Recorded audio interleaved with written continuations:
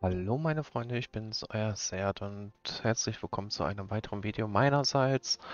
Heute geht es darum, wie wir in WHOTLK Gold machen können. Das erste Format, in Anführungszeichen, was ihr schon, oder die erste Dungeon, die ihr schon ab Level 40 tatsächlich schon machen könnt. Zumindest habe ich dies in WoW Classic Hardcore mit Level 40 schon gemacht. Und ich gehe mal ganz stark davon aus, dass wir das hier in WOTLK genauso gut von dannen kriegen werden mit Level 40 und das, da habe ich mir ein schönes Addon runtergeladen, das ist einmal Notepad, das ist nämlich einmal Verlies, hier habe ich mir einmal alles aufgeschrieben, was wir insgesamt bekommen haben, wie lange der Run gedauert hat und ab wann es möglich ist. Klar, ich könnte euch das jetzt natürlich einfach vorweg lesen, oder ihr pausiert einfach und behaltet das. Aber das ist so gesehen einmal eine Sache.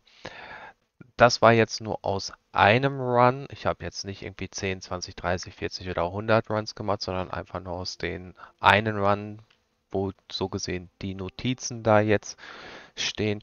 Potenziell hat aber auch Verlies, da es eine 20 bis 30er Dungeon ist, auch ein sehr hohes Potenzial gute Items für Level 29er Twinks zu droppen, sei es beispielsweise der Agi, Agi Stamina Ring, den ihr für nochmal 4 Gold oder so im Aktionshaus verkaufen könnt, oder andere schöne Sachen. Bedingt sei hier gesagt, in der Dungeon stehen fast immer zwei Kisten, deswegen solltet ihr bevorzugt, um zu wissen, wo die Kisten sind, ein Zwerg spielen aber was wichtiger ist, ihr solltet entweder ein Schmied sein, weil es auch sehr oft passieren kann, dass da in der Dungeon Kisten sind, die man so nicht öffnen kann. Geschweige von, dass da ein Schurke seid. Ihr könnt da drinnen dann dementsprechend, ich glaube, das Eisen ist da drin, also verschlossene Eisen Truhen sind da drin, dementsprechend, wenn ihr mal gucken wollt.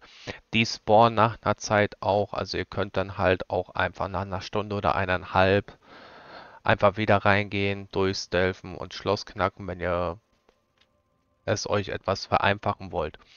Im Großen und Ganzen könnt ihr da bis zu geschätzt, würde ich jetzt mal sagen,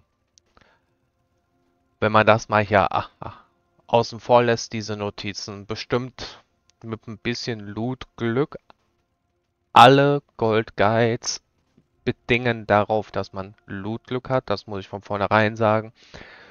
Kann es exponentiell nach oben schießen, das Gold, was ihr macht. Was ihr aber halt definitiv habt, und das war jetzt ein sehr, sehr, sehr schlechter Run von mir, wo ich vier Greens rausgezogen habe, ist hier ist, dass ihr definitiv nach den 5 Minuten einmal knapp 1 Gold 70 direkt Cash in der Tasche habt, plus nochmal knapp 1 Gold 20 durch den ganzen grauen Schrott, plus nochmal die Stoffe, die nochmal 30 Gold bringen und nochmal 4 Gold durchs Disenchant. Das sind eure Sachen, die ihr definitiv nach diesen 5 Minuten habt. Das heißt also ungefähr 40 Gold innerhalb von 5 Minuten. Und das, darauf könnt ihr euch eigentlich definitiv verlassen, was ihr dann habt.